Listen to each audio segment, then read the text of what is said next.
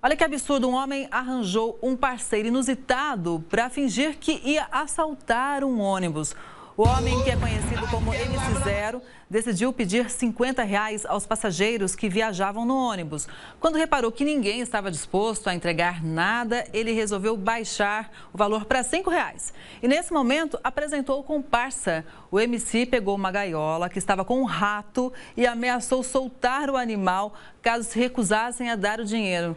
E ainda falou que o valor pedido era para comprar bebida alcoólica. Segundo uma amiga desse homem, tudo não passou de uma brincadeira, nada engraçada, né?